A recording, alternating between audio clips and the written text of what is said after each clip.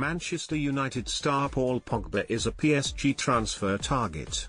Manchester United star Paul Pogba is on the transfer radar of PSG amid uncertainty over his Old Trafford future. The France international flourished at Euro 2020 and, with just one year left on his contract, could be on the move. So with swap deals set to become more commonplace after the pandemic, it's time to look at four players the Red Devils may demand in return. It would, of course, be fanciful.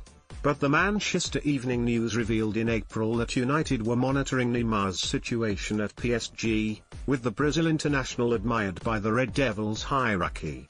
Since then, the Brazil international has signed a new contract at the Parc des Princes. Yet if United are to lose one Galactico in Pogba, they'd want another to take his place. And they could certainly do a lot worse than Neymar who, despite his injury issues in recent years, remains one of the best players in world football. It was also revealed by the men that United were keeping an eye on Kylian Mbappe's situation, too. The France international, who endured a wretched Euro 2020 campaign, is out of contract next summer. What's more, no renewal looks likely at the current moment in time. It's been widely assumed Real Madrid will get the 2018 World Cup winner, whether that's this summer or next. But United could be tempted to demand Mbappe, even if PSG would loathe to lose him. While that's the case, however, the Ligue 1 side wouldn't want him going for nothing next year. So a direct swap deal could suit both parties, though the player's preference does appear to be a move to Spain. United are huge admirers of Marco Verratti, Jose Mourinho thought about chasing the Italy international back in the summer of 2017, only to ultimately opt against it.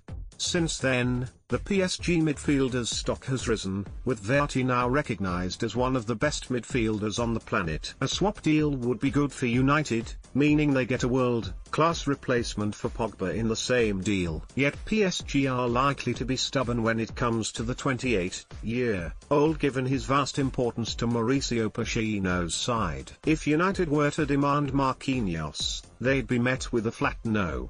But PSG may be more willing to cash in on Presnel Kimpembe instead, especially with so many hot prospects coming through their ranks. United were linked with the France international back in the summer of 2019, only for Harry Maguire to join instead.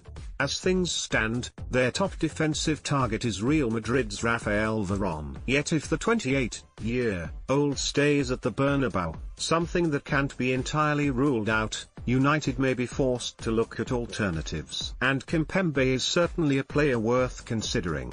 August 14th, Leeds United, Old Trafford August 22nd, Southampton, St Mary's Stadium August 29th, Wolves, Molineux September 11th, Newcastle United, Old Trafford September 18th, West Ham United, London Stadium.